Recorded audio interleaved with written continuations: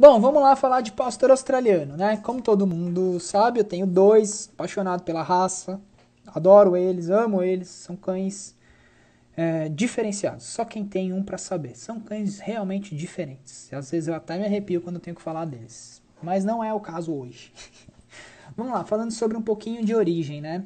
É, muito se acredita, e de, depende do lugar onde a gente vai ler e procurar sobre a, a história, é, muito se acredita que eles tiveram, foram criados, tiveram origem, né, lá por meados do século XIX, tá? E eles até hoje são usados como cães de pastoreio, bastante, são cães muito versáteis, sabe?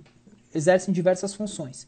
E o Austrália, né, pastor australiano, dizem que antes deles é, chegarem aos Estados Unidos, passaram pela Austrália e por isso ficou como nome pastor australiano. Mas, né, muito conhecidos também como os alces, os E aí quando a gente fala sobre personalidade, são cães extremamente amigos, muito tranquilos em questões de personalidade, tá? Mas nas outras questões de atividade são tem bastante, precisam muito de atividades físicas, tá?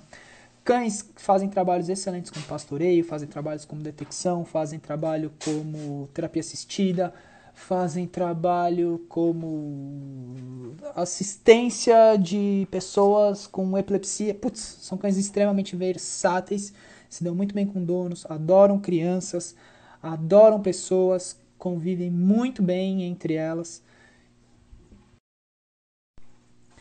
Extremamente inteligentes.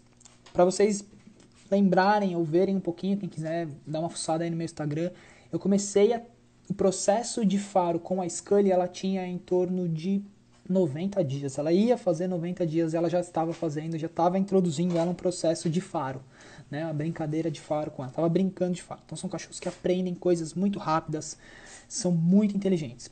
Tenho uma coisa que particularmente eu posso falar, porque eu tenho, né? Dão um pouquinho de trabalho na escovação. É muito importante a gente escovar todos os dias, mas tem um pouquinho de trabalho e principalmente quando a gente tem o preto. Pelo menos é o que eu sinto. O preto dá mais trabalho de cuidar do pelo do que a vermelha, que é a Scully, tá? Então essas aqui são algumas características do pastor australiano. Valeu?